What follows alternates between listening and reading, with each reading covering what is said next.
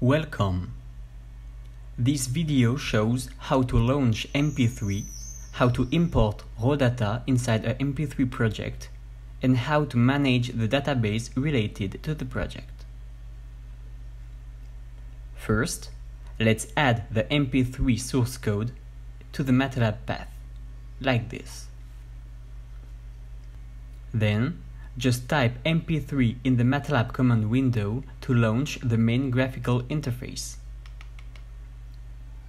This graphical interface is the viewer of the software, where one can manage and view the content of a project.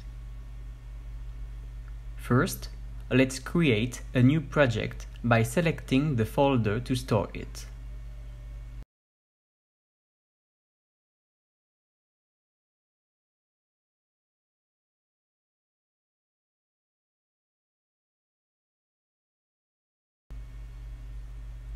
Then, since the project is still empty, let's import data. For this video, we chose to import the raw data available on the software's wiki page. It is preclinical MRI images stored as Bruker data.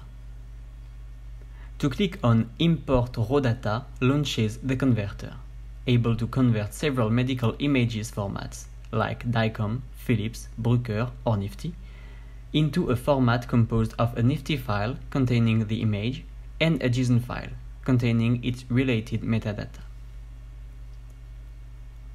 One need to select the type, here Bruker, and the folder containing the data to import. The converter then displays all the sessions available click on a session displays above the content. Here, one can see that four scans were acquired in this session. On the right, one can observe the metadata related to the scans. One can select the session or the scans to import, and then right-click and choose Add to Basket. Then, in the Basket tab, all the files about to be converted are listed. Click on Export to MP3 starts the conversion.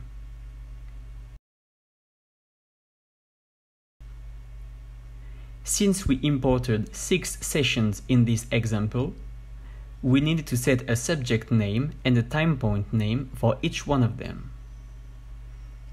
All the scans acquired in the same session will share the same names.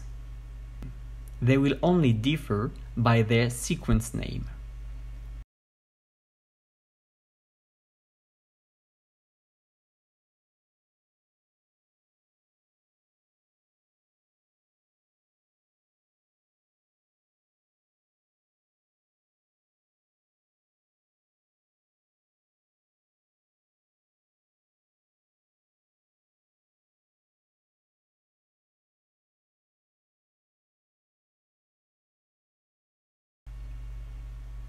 After that, the project and its related database are saved and one can close the converter.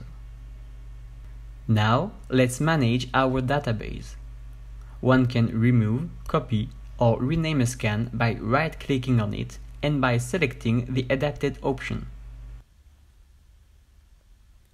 Here, since some scans were acquired before and after an injection of a contrast agent, I rename them to highlight this information.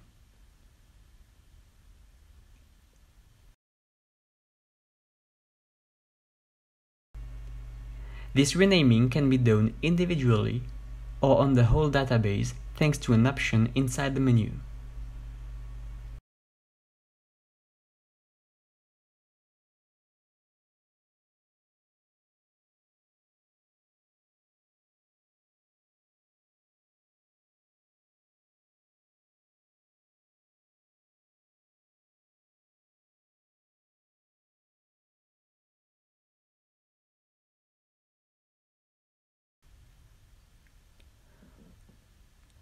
One can see that the scans were renamed in all the sessions. Our database is now more consistent, and that will be a key step to apply complex pipelines. Thanks for watching. See you in the next video to improve your MP3 utilization.